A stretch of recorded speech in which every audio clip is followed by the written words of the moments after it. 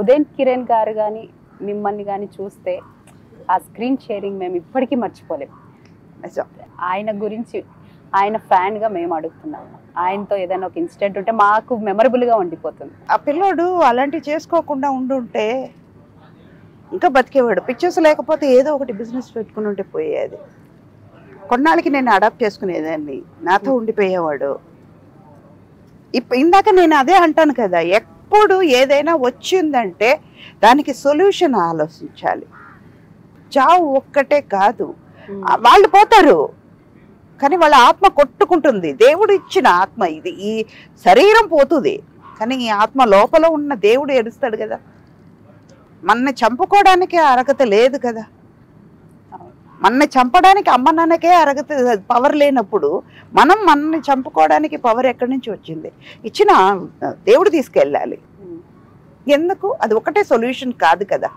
చచ్చిపోతే అన్ని తీరిపోతుందా? తీరిపోదు కదా. మిగిలిపోతుంది కదా. పోయే వాళ్ళకి వాళ్ళకి ఏం పెయిన్ లేదు. పక్కన ఉన్నారే వాళ్ళకి ఎంత పెయిన్ వాళ్ళని ప్రేమించే వాళ్ళకి పెయిన్ ఎక్కువ ఉంటుంది.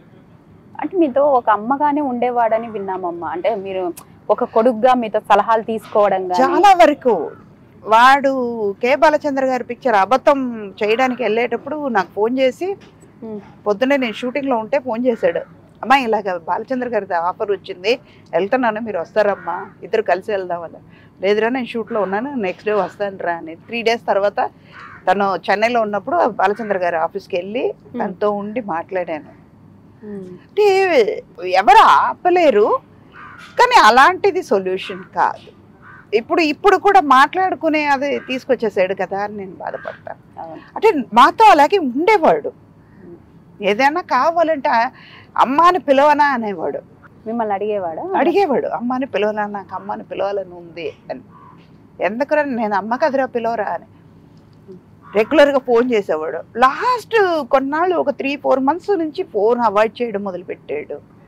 మీరు ఫోన్ చేసిన ఫోన్ చేసినా కూడా ఫోన్ ఎత్తేవాడు కాదు. మా వాళ్ళు ఫోన్ చేస్తే కూడా స్టాఫ్ ఎవరైనా ఫోన్ చేయండి రా అంటే ఫోన్ ఎత్తేవాడు కాదు. ఎక్కడ కనెక్షన్ లేకుండా మనుషుల దగ్గర నుంచి దూరం అంటే ఎంత డిప్రెషన్ లోనికి వెళ్ళిపోయి చాలా డీప్గా వెళ్ళిపోయినట్టు ఉన్నాడు. అందులో నుంచి బయట రావడానికి తనకి దారి తొలి దొరకలేదు వాడికి.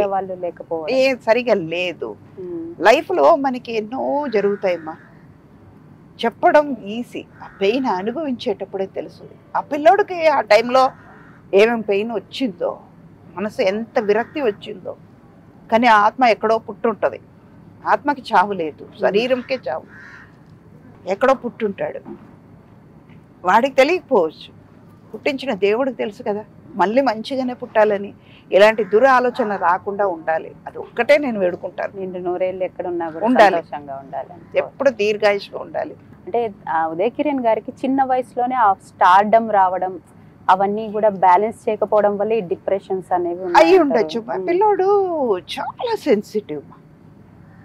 ఏదైనా ఒక చిన్న విషయం ఎవరైనా ఏదైనా అన్నారంటే వెంటనే ఏడుస్తాడు. ఓకే. చాలా సున్నితమైన మనసు వాడిది.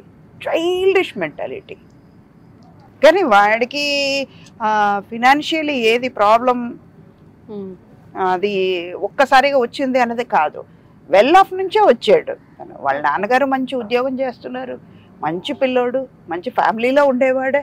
అలా అన్నప్పుడు వాడికి ఫినాన్షియలీ ఏదైనా బాగా పెద్ద మల్టీ మిలియనర్ కొడుకేం కాదు. మంచిగా ఉండేవాడు కదా. వెల్ సెటిల్ ఫ్యామిలీ నుంచి Hmm. వచ్చాడు బేసికలీ తను చాలా సెన్సిటివ్ పర్సన్ మేబీ అది కూడా మా ఇద్దరికి కలిసిందేమో. సెన్సిటివ్గా ఉండడం. చాలా సెన్సిటివ్గా ఉండడం. ఆ వాడిది తర్వాత మా గురుగారు పోవడం మా ఇంట్లో జరగడం నాకు క్లోజ్ అయిన వాళ్ళు నాకు కావాల్సిన వాళ్ళందరూ కొంచెం దూరం అవ్వడం ఇలాగ అదంతా నా మనసుని ఇంకా గట్టిపరిచిందేమో అని అనిపిస్తుంది. చావు మాత్రమే సొల్యూషన్ కాదేమో అని అనిపించింది.